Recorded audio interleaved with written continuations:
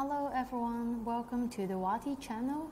So today I'm going to give you an introduction of how you can assign agent automatically.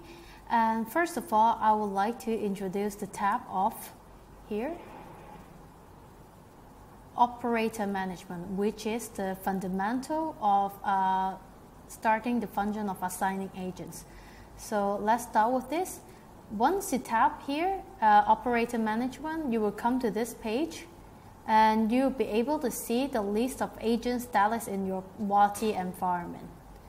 And what you'll be able to see now is, um, first of all, the username, uh, status of it, whether they're online, their email or phone number, the role of them, which uh, we have several roles that I will introduce later, teams that they belong to, etc. So how you can add an operator, I will show you step by step here. First of all, add operator on the right corner.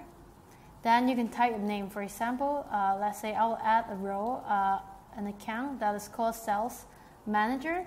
At the email address, I will just use uh, one of my uh, personal address. So as a administrator, I can add people like this. And I would like to assign the sales manager a role as an operator. Okay? And later on, they will have a team that I can select. So I will first of all select as a default team. And secondly, I will edit this account to a sales team. So you can add operator directly here. Later on, you will be able to see uh, the sales manager is already here and the email address I used to add and the role as operator and teams they belong to. And what does it mean by team? Here you have another tab called team.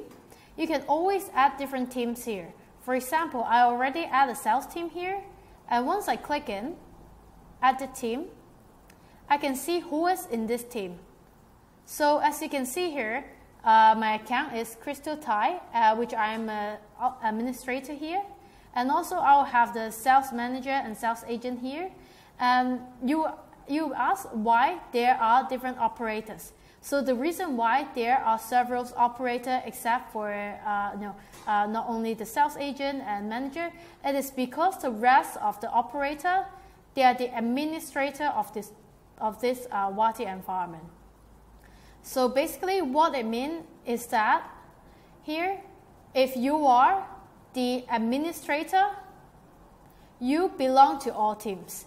So as an administrator, you have the right to oversee all the teams here within the Wati platform. Whereas if you are just an operator or other role, you will be assigned to either uh, one of the team or uh, your, of course, uh, your administrator can assign you to a certain team that uh, you will be managing or belongs to as well.